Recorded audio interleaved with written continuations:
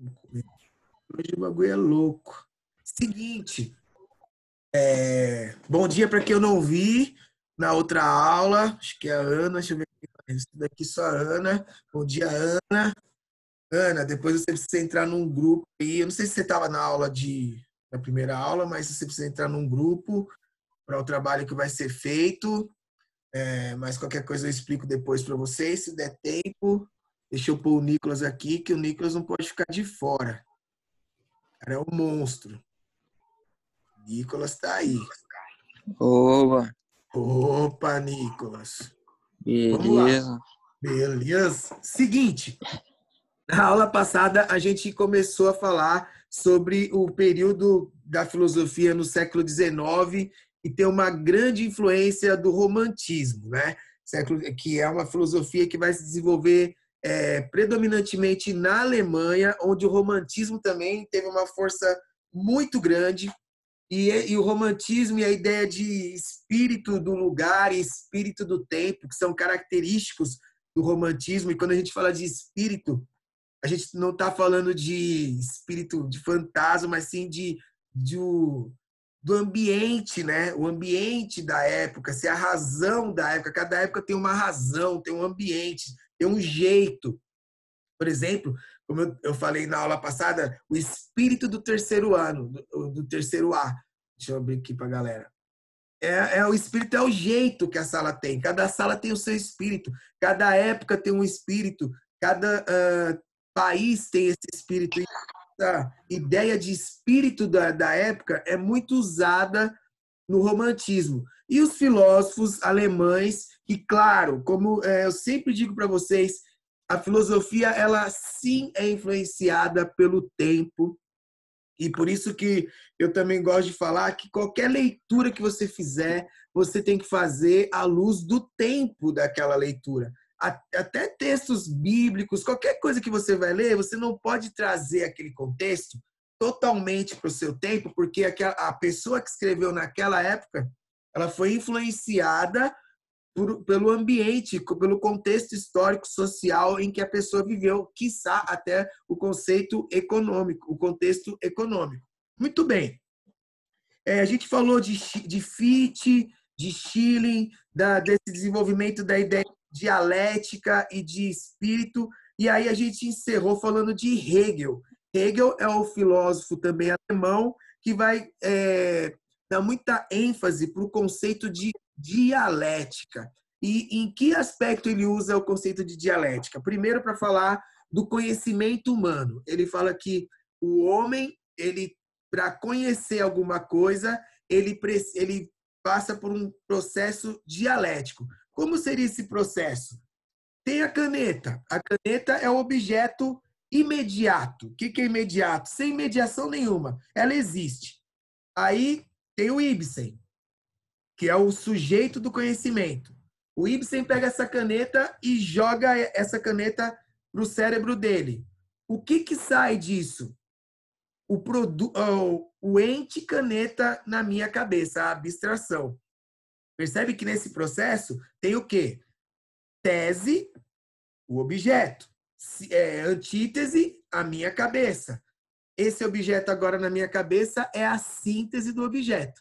Então, é, Hegel ele vai explicar como se dá o processo de conhecimento humano a partir de um processo dialético. Ponto. Aí ele vai usar também essa, esse conceito de dialética para falar da história. Por quê? ele entende que a história humana é uma história, é um processo dialético. A história tem um processo dialético. Já expliquei isso, então vou falar bem rápido, tá? Para ele, existe o espírito absoluto, que é aí entra essa, essa parada do espírito, né? Que é uma razão absoluta que comanda esse processo dialético. Ele em nenhum momento ele vai chamar isso de Deus, mas isso fica muito implícito porque os filósofos alemães desde Kant, né, é, tem essa raiz da ideia de Deus, né, porque a maioria deles era protestante, não protestante assim radical, mas era protestante. Então imagina, a, o, o movimento é uma razão absoluta, uma tese, cada época apresenta uma tese que é refutada por a antítese de uma outra época, esse confronto dialético gera uma síntese. Então, tudo na toda a história da humanidade é um processo dialético. Tese, antítese, síntese. A síntese vira uma tese, vem uma antítese, síntese. Tese, antítese, e vai. E quem comanda esse processo, quem administra, é essa razão absoluta. E a busca é sempre pela verdade. Então, o que é interessante em Hegel? Para Hegel, o homem não muda o mundo. O homem faz parte de um processo dialético. Pô, cara, assim, eu comecei esse ano, comecei, entrei como aluno especial no mestrado de lá na UFABC. Só que eu parei, né? Porque veio essa, veio essa pandemia e tal. E eu não estava entendendo nada também, que é muito difícil. Hegel é muito difícil. Ele escreveu A Ciência da Lógica, é, que é um livro dessa lapa. Escreveu uma série de livros só falando sobre o, como o homem alcança o conhecimento. E ele é muito difícil de ser lido, mas ele é um filósofo que mudou a maneira de se estudar o conhecimento. Sendo assim, é, ele revolucionou o pensamento alemão filosófico depois dele. E no, no começo do século XIX, na, é, surge um filósofo, pensador, sociólogo chamado Karl Marx, que lê Hegel e se interessa muito por essa ideia de movimento dialético da história, né? Só que ele rejeita, como todo como a maioria dos filósofos faz, ele rejeita esse idealismo de Hegel. Essa ideia de que existe um espírito que comanda todas as coisas, ou seja, uma ideia meio, meio de Deus que Karl Marx não não adota muito, não concorda muito, né? porque ele, ele é um filósofo essencialmente materialista. Tanto é que é dele aquela frase que diz que os filósofos interpretaram o mundo e agora a função deles é, pensar, é modificar o mundo. Karl Marx entendia que o papel da filosofia e o papel de todo conhecimento é mudar o mundo, prático. E ele entende que o homem é resultado da vida real. Para ele, o homem é sempre produto do que ele produz e da onde ele vive. Nunca você vai escrever nada ou produzir nada que não tenha a interferência de da onde você vive. Tanto é assim, gente, que é muito louco assim, porque se você pensar, pega a Bíblia, vai que é muito assim um, um livro que é, tá no, na, na, no consciente de todas as pessoas, até quem não conhece cita. Se você pegar os evangelhos, toda alusão que Jesus fazia era peixe, era pescador, era mar. Por quê? Porque ele vivia numa vila de pescadores. Então, ele, quando ele chama os apóstolos, ele fala: vem ser pescador de almas. Aí ele fala, sempre ele fala, é, chamei para pescar almas. E o mar, não sei o que lá. E o cristianismo era um peixe, o símbolo dos cristãos. Por quê? Porque o homem é o que ele produz.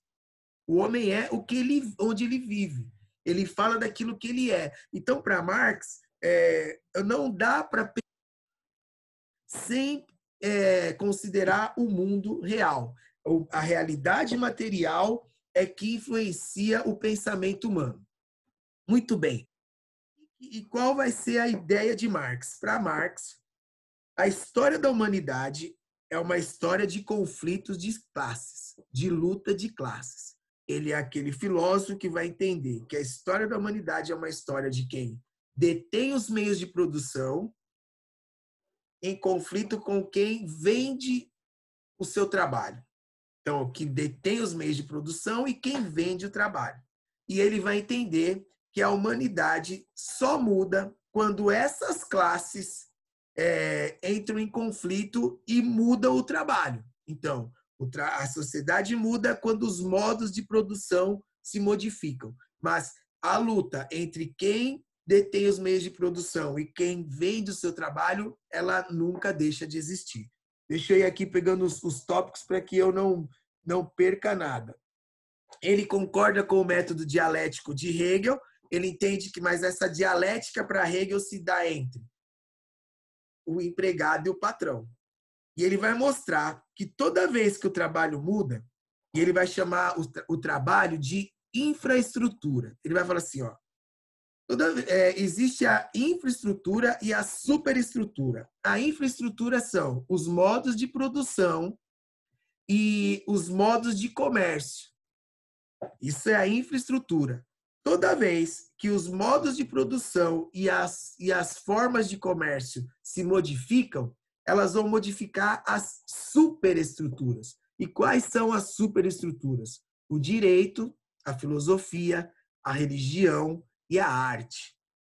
Então ele entende que toda vez que, que muda o trabalho, essas áreas também mudam. A religião muda, a filosofia muda, a arte muda e o direito muda. Tanto é, e assim, e é importante dizer sobre Marx é, eu considero que nenhum filósofo teve tanto impacto sobre a vida moderna, sobre a vida real do que Marx. Gostando você dele ou não, nenhum filósofo mudou tanto a história da humanidade. E olha que eu tenho filósofos que eu amo.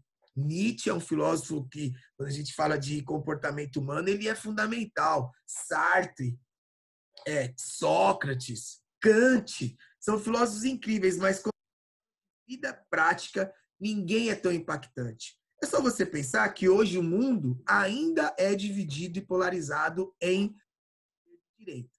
Não tem como, nada, nada nessa vida, nada nessa vida é, não tem a ver com isso. Eu tava, é, eu sempre falo para vocês, vocês sabem que eu sou evangélico, né? E assim, às vezes eu vejo é, é muito comum o evangélico falar assim. Não é só evangélico, tô falando deles porque é, eu também sou.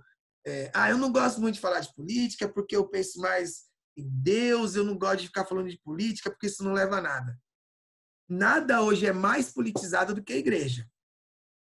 É, nada hoje é mais politizado do que o Covid-19. Nada hoje é mais politizado do que a luta contra o racismo. Então, assim, se você olhar a igreja, a igreja católica é mais o, o Papa. O Papa é mais voltado e tem um pensamento mais de esquerda, por incrível que pareça. Se você não, se você assistiu o filme dos dois papas, assista, que você vai ver. É, Lia Paulo Freire, tinha trabalhos com pessoas pobres na Argentina, é um papa, um, um, um papa meio canhoto. As igrejas evangélicas hoje, quase todas alinhadas com o governo de direita. Né? Então, assim, a igreja hoje é politizada. É, a, o Covid-19, as pessoas que não acreditam no, no, no, estrago dessa, dessa doença são mais as pessoas de direita. Aquelas que acreditam são mais de esquerda é, ciência, terraplanismo, tem a ver com esquerda e direita. Então, assim, tudo, tudo hoje é polarizado. E essa polarização começa em Marx, não tem como negar. Porque antes de Marx tinham os socialistas utópicos. Mas Marx foi o filósofo que estruturou o pensamento comunista marxista. Tá? E aí, depois dele, vieram todas as, as graduações, né? porque é, como eu já disse para vocês também em outras aulas, nem todo mundo que é de esquerda é comunista e nem todo mundo que é de direita é fascista. Nós temos uma série de, de níveis hoje, né? E, e tudo é dinâmico, né? E ontem o que era de direita pode ser esquerda e vice-versa. A gente pode aqui conversar aulas, aulas sobre isso. Né? Hoje a Globo é, é de esquerda, né? Considerada comunista. E a gente sabe que a Globo foi fundamental no golpe contra a, o impeachment da Dilma. Então, assim, as coisas são dinâmicas, tá? E falar de esquerda e direita não é fazer um juízo de valor dizendo que todo mundo que é de direita é bom ou é ruim, todo mundo que é de esquerda é bom ou é ruim, tá? Eu estou fazendo, eu estou falando que existe hoje uma separação muito séria. E esse cachorro aí deve ser de direita. Não sei, porque ele não está querendo deixar eu falar. Então eu acho que ele é um cachorro de direita. Vocês estão ouvindo aí? Espero que não esteja atrapalhando vocês. Estão ouvindo ou não? Estamos trabalhando não. É de direita, eu certeza. Ó, vamos lá. É, o que, que podemos falar de, de, de Marx aqui? Muito bem.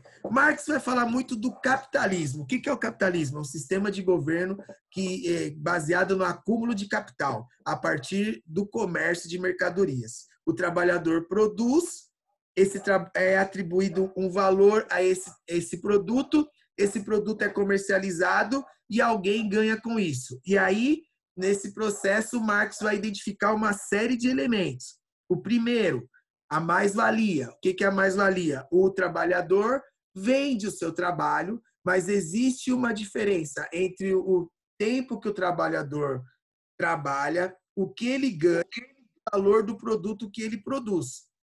Ou seja, o patrão ele atribui um valor àquela mercadoria que deveria pagar o funcionário, mas esse valor é a mais do que é pago pelo funcionário. Mas para isso ficar mais claro, e como a gente não vai ter tempo de explicar, eu já expliquei isso inúmeras vezes, é o valor excedente do trabalho de um operário. Aquilo que ele não recebe por aquilo, ou seja, aquilo que não é reconhecido no valor que foi atribuído no que ele faz. Esse, isso a gente chama de mais-valia. Existe o fetiche da mercadoria. O que é o fetiche da mercadoria? A conta é muito rápida. Você produz, só que você produz mais do que as pessoas podem consumir. Aquilo que você quer produzido tem um tempo durável, de duração. Se as pessoas comprarem o produto, por exemplo, eu compro o celular e eu usar o tempo que ele dura, eu, vou, eu não vou precisar de um celular durante uns 3, 4 anos. Mas o que fazer com aquilo que é produzido, que vai, ser, vai continuar sendo produzido pela Apple? Então, existe a propaganda. E qual é o papel da propaganda? Gerar em você uma necessidade que não existe de você consumir aquilo que você não precisa. E aí, é, criar o fetiche. O que é o fetiche? É o feitiço. Gente, se vocês quiserem falar, pode falar, tá? É que eu ouço baixinho, às vezes eu vou falando por cima de vocês. Só manifestar que eu paro aqui, até porque para não ficar chato. Esse fetiche da mercadoria ele é colocado pra gente o dia inteiro. Ó. Eu tô aqui fazendo coisas aqui, daqui a pouco aparece um pop-up aqui de alguma coisa que eu não preciso. Eu tava vendo. É, sei, todo mundo já passou por isso, né, cara? É muito louco, porque acho que Marx ia ficar assim, loucaço de ver a internet, né, cara? E o cara nem viu, por isso que ele é poderoso. Porque, ó, você olha lá, é, xícara. Mano, não para de aparecer xícara de todos os tipos para você, de todos os valores, até, fazer, até que você compre essa xícara. Então, assim, aquilo vai te gerando um, uma necessidade que é o que move o capitalismo. Só que Marx, olha só, cara, é impressionante. Ele previu um colapso do capitalismo. Por quê? Porque o capitalismo tem uma hora que ele vai produzir, produzir, produzir, produzir, mas ele explora o funcionário, o funcionário não tem dinheiro para comprar, cada vez menos gente compra, daqui a pouco está produzindo o que as pessoas compram. Aí a mercadoria vai emperrar. Isso aconteceu em 1929, muito depois de Marx. E isso acontece de tempos em tempos. A pandemia trouxe um colapso. Oi? A pandemia trouxe um colapso para o capitalismo. As pessoas, algumas pessoas têm dinheiro, mas não têm o que comprar.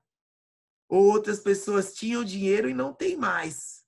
Né? Então, assim, é, e o capital, as, as, as coisas produzidas ficam ali.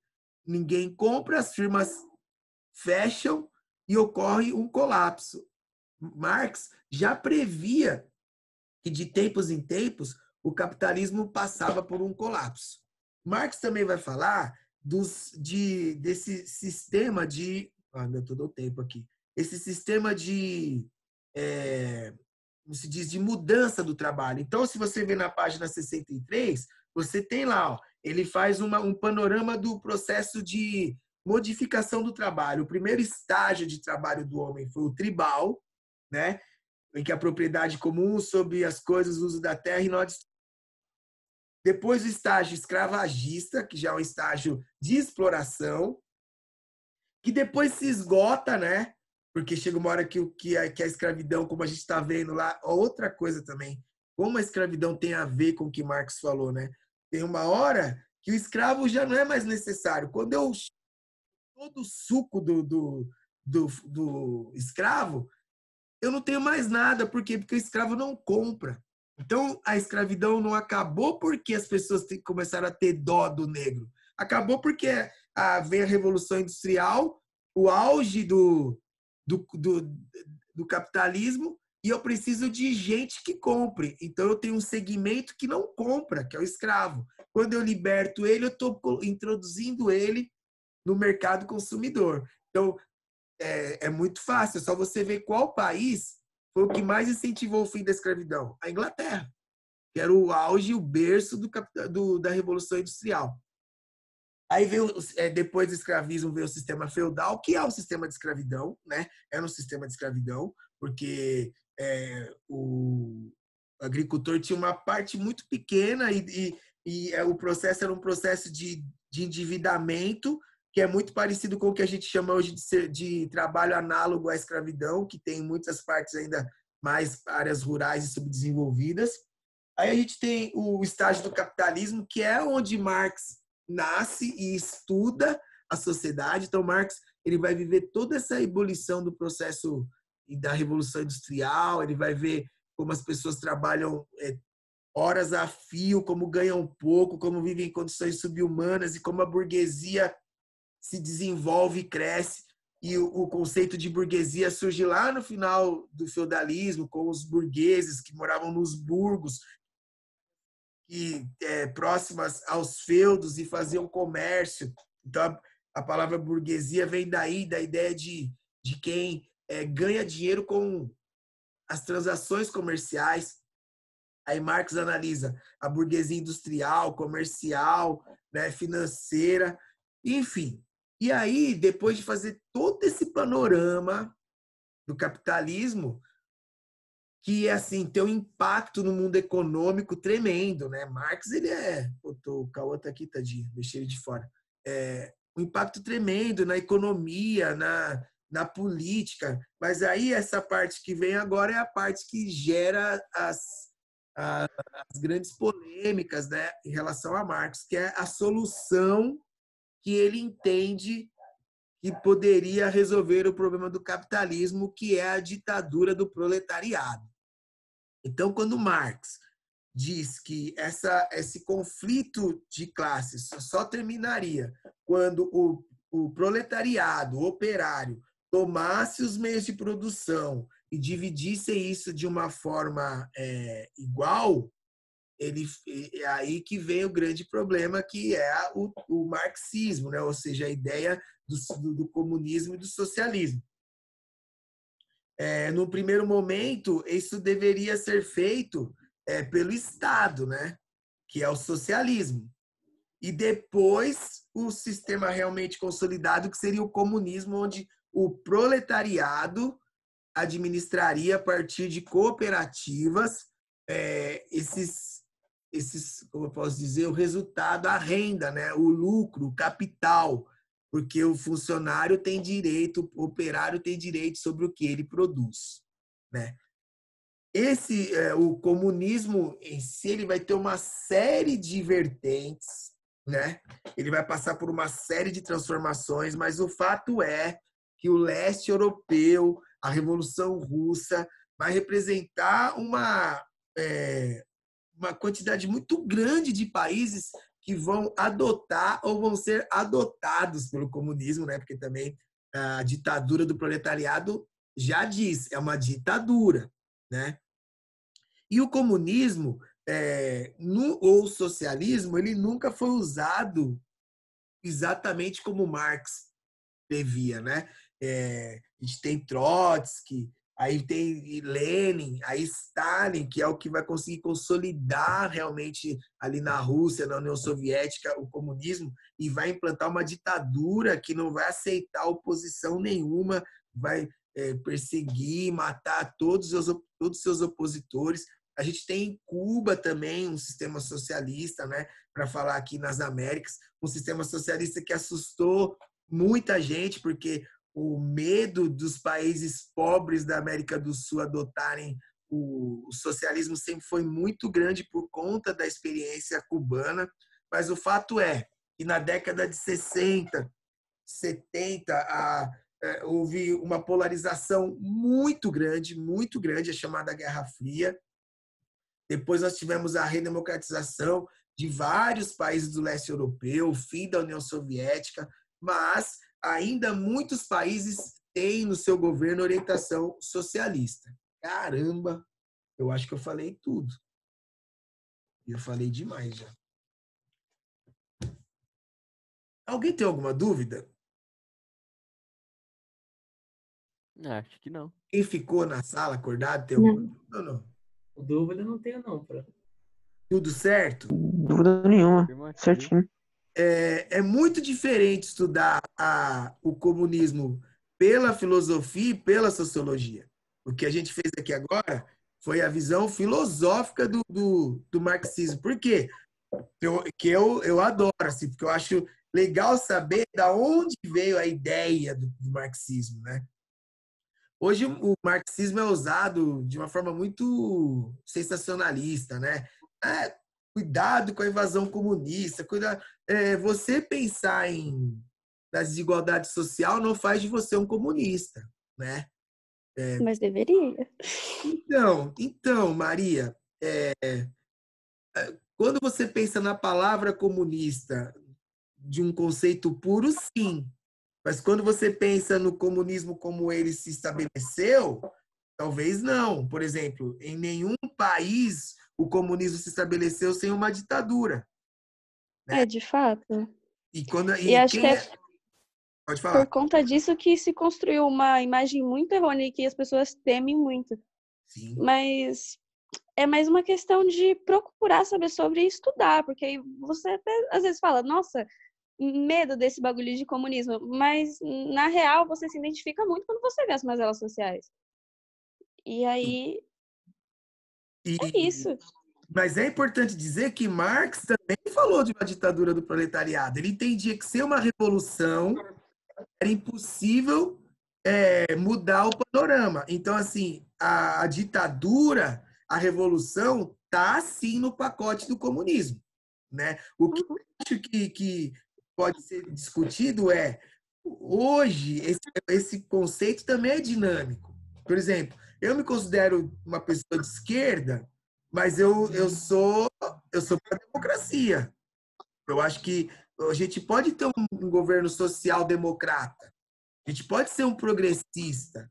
Eu não sei se eu tô aqui não deveria estar falando isso, porque não é o assunto, mas é só para a gente mudar para trazer um pouquinho de, né?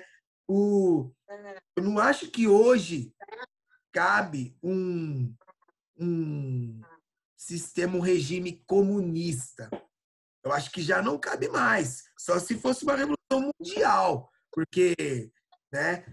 Assim, o comunismo ele fica em, em- coisas que eu acho que a gente não consegue mais voltar. Mas eu acho que é, um- uma- o fim da desigualdade social é urgente. É urgente. E a pandemia mostrou isso muito. Hoje, ontem, 1.300 e poucas pessoas morreram. E com certeza a maioria dessas pessoas é pobre e preto. Né? Porque são as pessoas. E graças a Deus que a gente tem um SUS. Porque nos Estados Unidos a, a mortandade de pretos e pobres tem sido enorme, porque lá não tem SUS. Quem já foi lá, vocês sabem disso. A conta que vem depois que você cai para fazer um, um band-aid no hospital é gigantesca. Nós ainda temos o SUS. Então, assim, é, hoje tem esse. Vai dar hora aqui, gente. Hoje é, não se discute mais liberalismo econômico, se discute que o governo sim, o Estado sim tem que interferir na economia. Porque se não interferir no mundo que a gente está vivendo hoje, as pessoas vão morrer de fome. Não é com 600 reais por mês que, que a gente vai resolver o problema do país.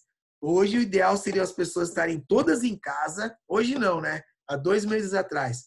Todos em casa e o Estado sustentando todo mundo. Porque a gente sustentou o Estado por, por 500 anos, caramba. Por que, que o Estado hoje não pode sustentar a gente? Mas essa visão liberal de Estado mínimo, Estado mínimo, tá aí, o que deu. Então, assim, você vê um valor de um pensador pela maneira como ele consegue prever e o que Marx falou, pouquíssimas coisas podem ser refutadas, a gente gostando ou não, né? Talvez, como eu sempre digo, se discutir o caminho que ele entendeu que seria da solução, mas a análise econômica, filosófica e sociológica de Marx é fundamental, para dizer o mínimo. Pessoas, eu estou pensando aqui, só para não dizer que eu não passei nada, página 64 acho que está de bom tamanho, não tá? Manda a foto pra no grupo. O que, que vocês acham? Tranquilo. Tranquilo? Uhum. Então tá. Só pra gente não falar que não. Pra não dizer que eu não falei de flores. Então, página 64. É, Manda foto por onde? pelo Clesum, que eu vou pôr atividade lá, que eu não pus. Ah, beleza. Eu nunca sei pra onde a minha, minha aula vai, né, Isabela? Você sabe que o bagulho aqui.